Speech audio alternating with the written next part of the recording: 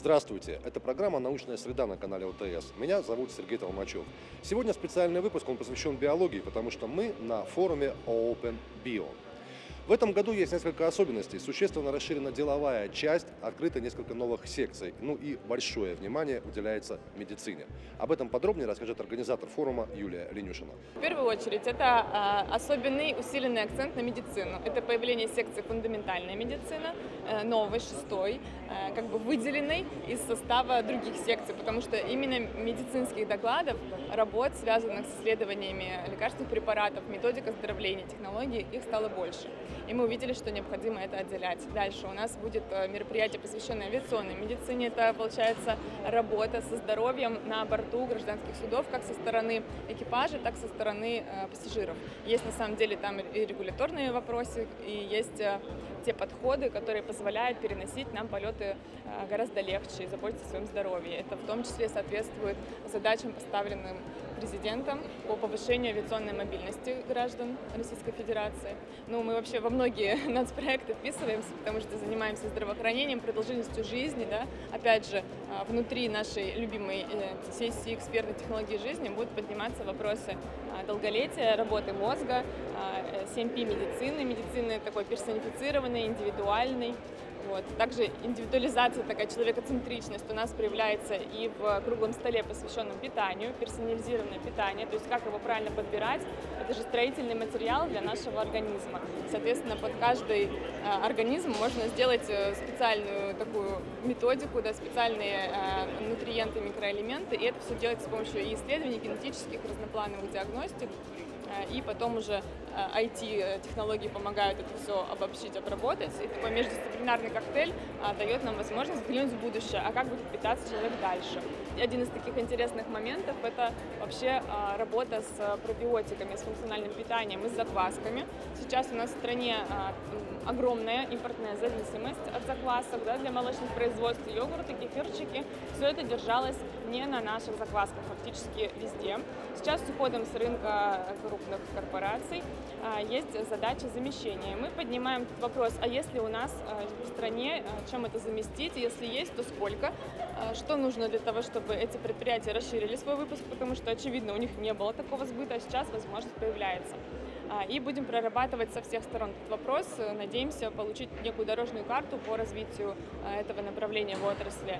И а, также вопрос импортозамещения мы отдельно рассматриваем на тех круглых столах, которые посвящены работе с интеллектуальной собственностью, потому что когда мы что-то замещаем, очень важно сделать это в правильном правовом поле и нигде не накосячить, потому что когда что-то закрыто, потом оно снова откроется, и мы снова окажемся ближе, так же близки да, с другими странами мира, как это, как это и было ранее.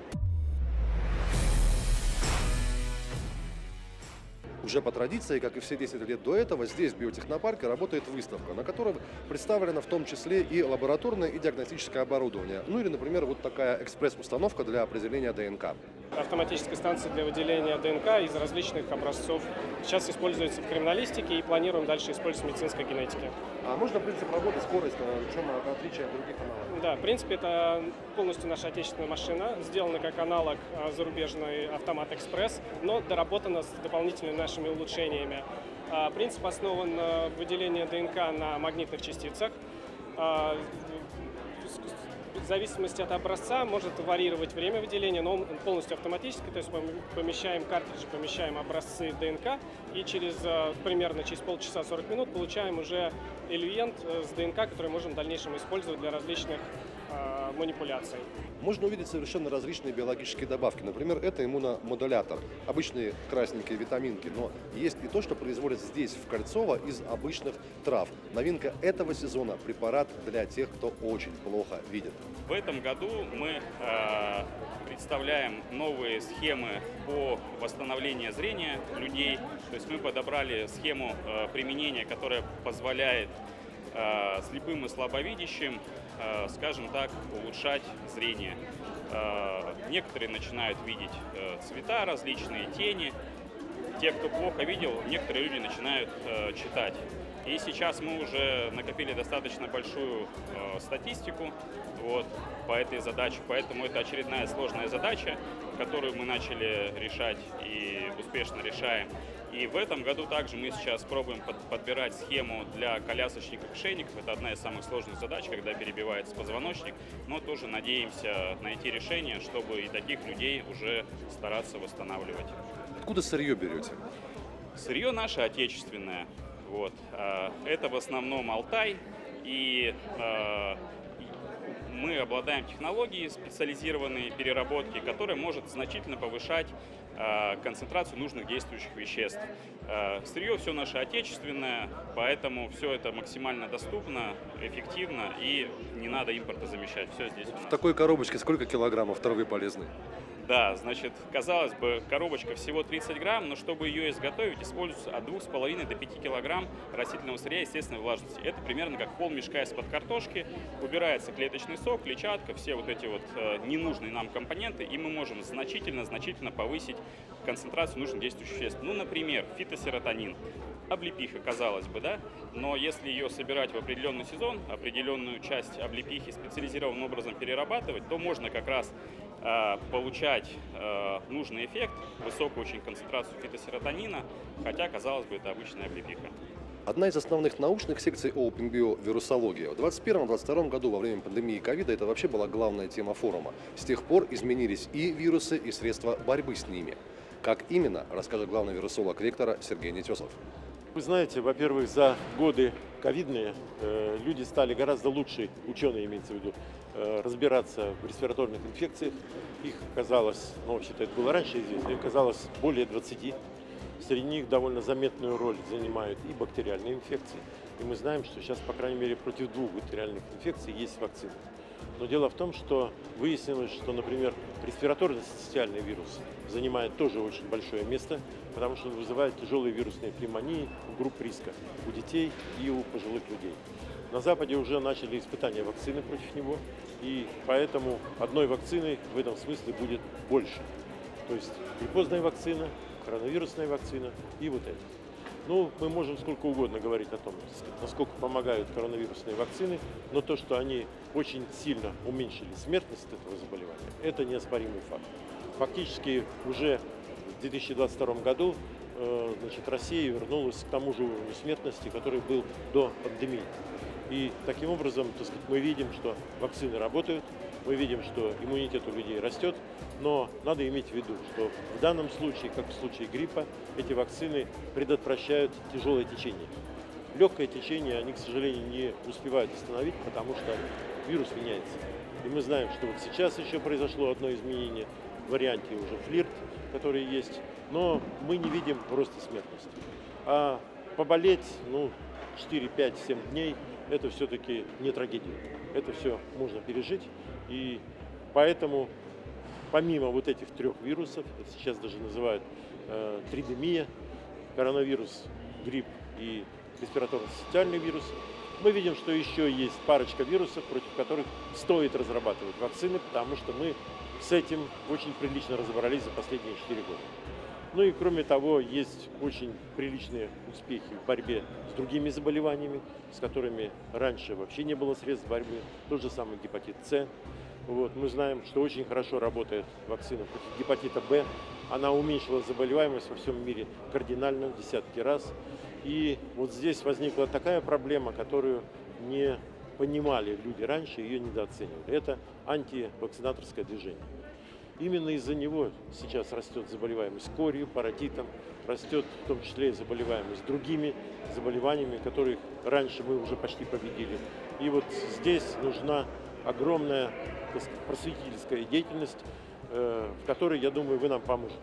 Потому что надо сделать так, чтобы люди предельно ясно понимали, э, что только из-за вакцин у нас уменьшается заболеваемость. Потому что есть такое впечатление, что люди говорят, а вот этих заболеваний почти нет, поэтому вакцины не нужны. На самом деле логика здесь нарушена. На самом деле этих заболеваний почти нет, потому что есть вакцины. Как только мы начинаем э, меньший охват вакцин делать, то эта заболеваемость начинает расти э, до прежних уровней. И это очень нехорошо. Биотехнологии хороши тем, что не приносят вреда ни человеку, ни окружающей среде. Даже отходы производства можно потом автоклавировать и отправить на поля в качестве удобрения. Сельское хозяйство на OpenBio тоже представлено довольно широко. Мы производим сейчас препарат на основе бактерий э, инсектицидной направленности. Как известно, пчелы гибнут от пестицидов. В целом, если обработки идут часто пестицидами, еду нельзя употреблять, капусту сразу нельзя тоже на прилавок. У нас получаются биологические средства защиты растений, которые также эффективно борются с насекомыми, и при этом мы не работаем по пчелам. Соответственно, пчела остается живой. Соответственно, можно работать ну, нашим инсектицидом вблизи населенных пунктов, и никак это не будет отражаться на здоровье людей, почвы, растений. Насколько это экономически выгоднее или дороже наоборот для фермера? Экономически это всегда такой интересный вопрос, потому что все считают, что биологические средства должны быть дешевле, но качественная биология может быть на уровне цен с химическими препаратами. Но здесь э, возникает такой интересный вопрос, это э, все-таки товарные, товарность продукта.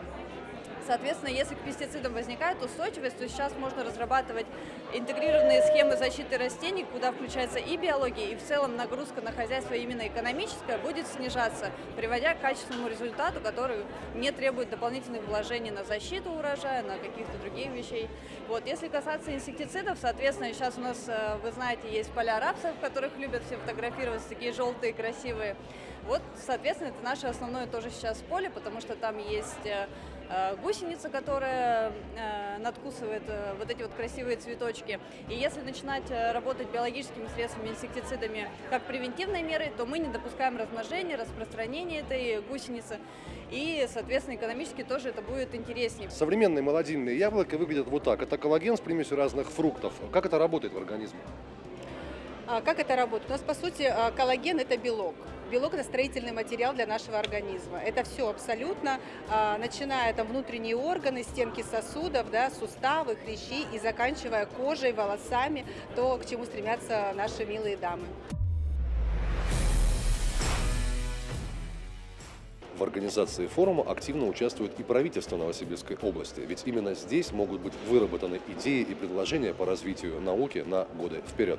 Безусловно, такие площадки странового или международного уровня, они позволяют собрать обратную связь от бизнеса, от научного сообщества, концентрированную и консолидированную. То есть, получая резолюцию от такого форума, мы понимаем, а какие есть барьеры, которые сдерживают развитие отрасли. Ну, как бы зачастую, безусловно, это барьеры, конечно, федерального уровня, но мы со своей стороны от региона можем их транслировать э, наверх. Ну, а если есть те вопросы, которые касаются региона, то, безусловно, э, по биотехнологиям у нас э, эта отрасль всегда приоритетная. То есть у нас и Сиббионотс направлен на биотехнологии, и, соответственно, ряд мероприятий, которые мы проводим на нашем технопроме, всегда присутствует это. И сейчас мы э, в ближайшее время, там, в течение месяца, примем э, ключевые научно-технологические направления региона, э, порядка 10 направлений, вот один из них это биотехнологии. Биотехнологии и там фарма и так далее. Поэтому это всегда наш профиль, у нас много науки здесь, много институтов. А, с прошлого года мы запустили проект по молодежным лабораториям. Это аналог федеральной субсидии, которая это 15 миллионов э, на несколько лет то есть ежегодное финансирование, для того, чтобы молодые ученые смогли, э, во-первых, собрать коллектив и сделать какие-то исследования, то есть купить там реагенты, оборудование, еще что-то, э, потому что зачастую материально-техническая база нуждается в постоянном обновлении институтской. И вот как раз эти молодежные лаборатории, они направлены именно на это. У нас э, три молодежные лаборатории мы создали в прошлом году, и две из них так или иначе по, касаются биотеха. Все, что сегодня здесь представлено в виде научных разработок, довольно скоро мы сможем увидеть уже и в аптеках. Так устроен OpenBio, он очень практичный форум. Меня зовут Сергей Толмачев. Вы смотрели программу «Научная среда» на канале ОТС. В следующий раз поговорим о самом древнем календаре, найденном на территории Евразии. Ему 17 тысяч лет. Увидимся и удивимся. До встречи!